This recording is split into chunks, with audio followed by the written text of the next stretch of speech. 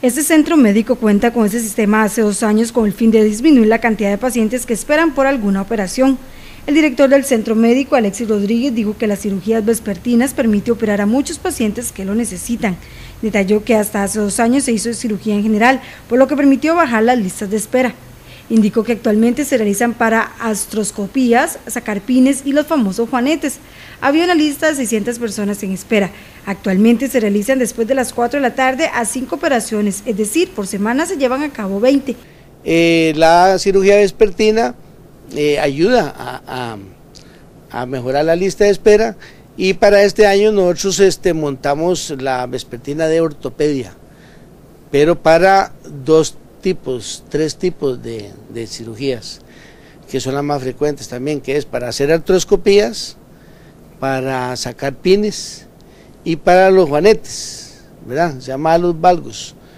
Eh, y, lógicamente, igual que resultó hace dos años, está, digamos, mejorando la lista de espera de, de ortopedia. ¿verdad? La dirección también tramitó a nivel de las autoridades de la Caja Costarricense de Seguro Social para realizar más operaciones de cirugía por hernias y vesículas, por lo que están pendientes de la autorización. En el acortamiento de la espera ayuda mucho, por ejemplo, se, se limpió, digamos, 2010, se limpió 2011, se va limpiando 2012 y así. Eh, es gente que no son de emergencias, pero que sí hay que hacerlas, esas, pues eso se llaman cirugías electivas, que no son ni urgentes ni prioritarias, pero hay que, hay que hacerlas.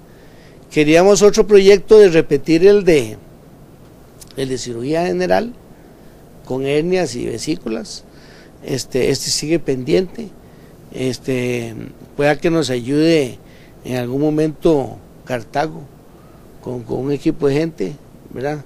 Uno de los mayores atrasos es en neurocirugías, porque son operaciones muy complejas, según dijo el director, que tardan entre 4 y 6 horas. En neurocirugía es porque las cirugías son muy largas, ¿verdad? o sea, cada, neurocirugía eh, se dura 4 a 6 horas y hasta más.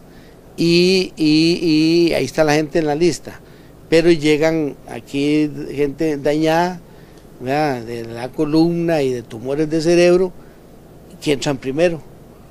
Entonces, la gente de neurocirugía que está en la lista tiene que esperar porque llega el tumor del cerebro y ya, y aquí, digamos, es un eh, orgullo que aquí tengamos neurocirujano. Rodríguez dijo que esperan seguir con este tipo de modelo para atender a más pacientes.